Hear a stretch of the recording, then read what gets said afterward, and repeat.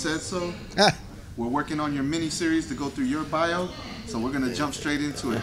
You were the man that took Marcos Madman Hernandez and worked out a deal with PBC. Why don't you let us know kind of how that worked out for you, or how it came about? Um, actually, well, first of all, thank you for having us and supporting us and supporting Team Madman. Um, we basically we had connections with pretty much all the companies, Top Rank, Golden Boy, uh, and of course PBC, Al Haymon, um, Luis DeCubas Jr. and Mario Serrano, who's our publicist. Shout out. I had sent them a, a tape of Marky performing, and um, they saw how long and rangy he was and how athletic he was. Right. And more importantly, they found out what kind of kid he was. And he was a real low key guy. He was real focused. You know, didn't have a lot of Low maintenance. yeah, not a lot of foolishness around him. So it was easy for them. And the deal wasn't really that hard to do. It was we presented it, they saw the talent, they saw the the body. I mean, a big six foot one, six foot two, a hundred and he started at 147 pound uh, Mexican fighter. There's a market for that. Right. So it wasn't that hard. Right. So yeah, it got done. So now that you guys got your business established, uh, the rest of the country, as well as Fresno for sure, uh, seen them on Fox Sports One and definitely repping hard. Is that something that's how important is that to, to Marcos as a, as a as a kid from Fresno? Well, it's it's huge because that's never been done in this area by anybody. Um, you have a lot of different promotions going on and things like that, but that's never been done uh, at this level. So to have a kid who's nine and zero, who's on national TV, and he has you know millions of viewers, it. I got phone calls from the East Coast. I'm from Boston originally. I got calls from Texas that had saw him. But more importantly, you saw people like Israel Lara. You saw people who are Hall of Fame matchmakers were watching those fights on Tuesdays. The community being so small, whether like you were saying, Hall of Fame matchmakers, the people that are in the actual business of boxing, and the pro fighters themselves, they watch damn near every fight, right? Right. and so we getting the feedback of his performance because he looked phenomenal. He was Right. awesome. He's a fan-friendly fighter. He doesn't back down from anybody. You getting that feedback, how did you feel about it? I mean, one as you personally being invested in the kid as far as your personal relationship with him, but then again on the professional level, how did you see that progression of his name getting out there nationally?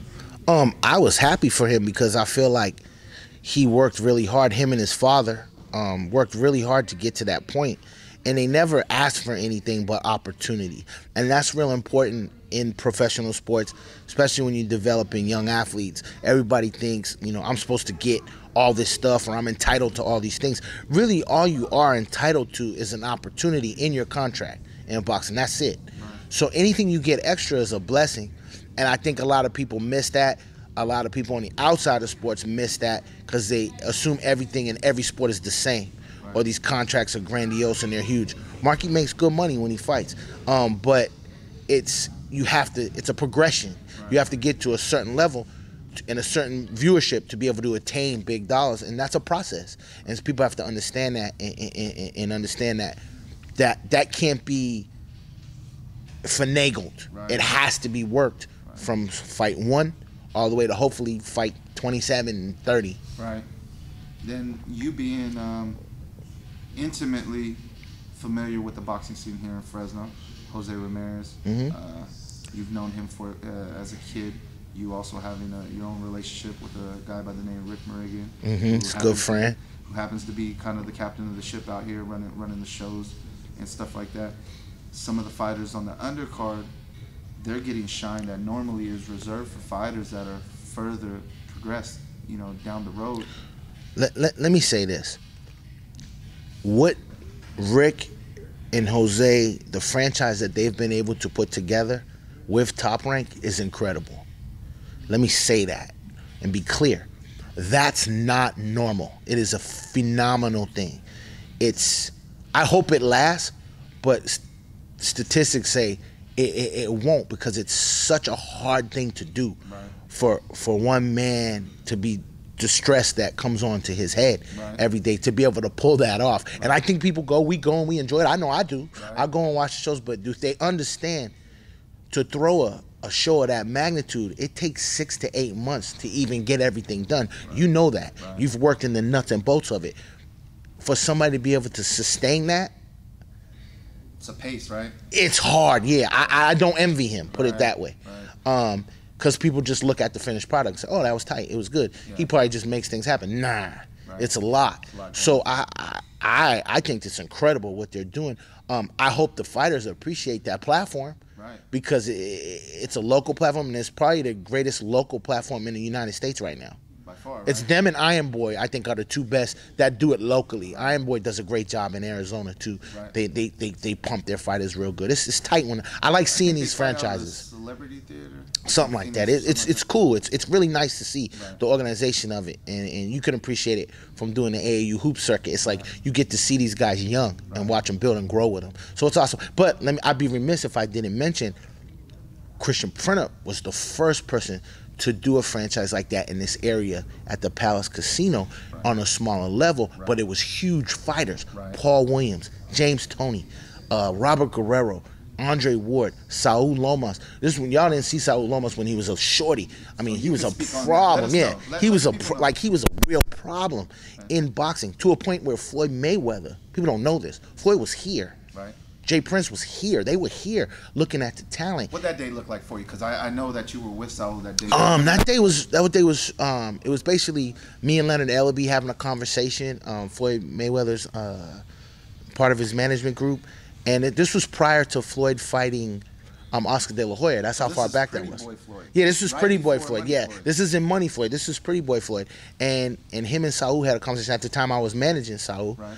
and um, we had a conversation, and, and that was a big fight for Saul because from that win he got the Showtime deal, um, which subsequently didn't happen because he got injured. He hurt his shoulder, right. but he was he was on to do a six fight deal with Showtime um, as an opening act for Andre Ward, Paul Williams. You saw where their careers went. Right. So a lot of people don't realize when they see Saul, this guy's a vet in the game. He Right. he's he's seen it all, Right. and uh, that's my little brother. I love him to death. So him coming up, he was one of the. I know that before his time, there was people that held titles, but Oh, for this yeah. new breed of fighter, For the new breed, the OG. he guy. was the guy, and, and a lot of young guys they should plug into him. They should talk to him Right, he because he he knows and he's been around dudes that are world champions now. Now we got to go back to the whole history of it. Hector Lizarraga opened up doors for all of us. Yep. There you go. You see what I mean? Yep. So we have to show Fresno has a boxing history. I like to talk about the history of it. Right. I mean, and I came around when when I was in Massachusetts. I was around Marvin Hagler and all those guys and his Right. brother Bobby Sims. I was a little kid running around those gyms. Right. So Historical yeah, so so I, you know I've always been I, I ended up going to school for other sports, but I always loved boxing, and so boxing is something that we every and, you know women that grew up watching boxing with their grandma and grandpa.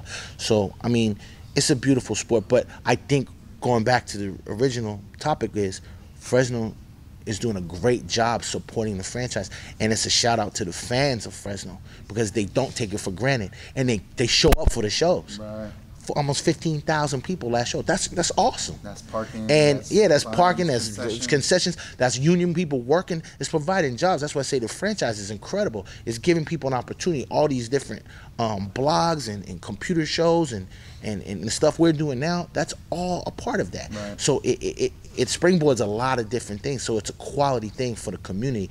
And I applaud the community for backing that. It. Yeah, supporting because if they didn't come out, it wouldn't be nothing. Right. So I mean, for every person who buys a ticket and doesn't hate on it and says I'm gonna go and have a good time and enjoy myself, Right. that's love, and that's what it's supposed to be for our sport. Right. It's that's the problem with boxing in the past. We didn't have a fan base that was loyal Yeah. Unless it was like a huge fight. Yeah. Now people just come and enjoy themselves. It's a good time. Right. So what, what what Rick and Jose and all them have done is tremendous. Right. Um, and, and the guys on the undercards too, they they're pulling their weight. They're making interesting fights. I mean, the whole Kilo and uh, Joe Louis fight, that was a fight with guys with under I believe under ten fights. Right. And it was like Right. It was a big thing. deal. It was a big deal. the show. Yeah, it was a big deal, Right. and and you can't discount that. You can't say it wasn't. Right. It was. Everybody had fun, right? Yeah, everyone Everybody- had fun. It was tight. Those guys gave a show. I mean, so you know, it was awesome. I like. So now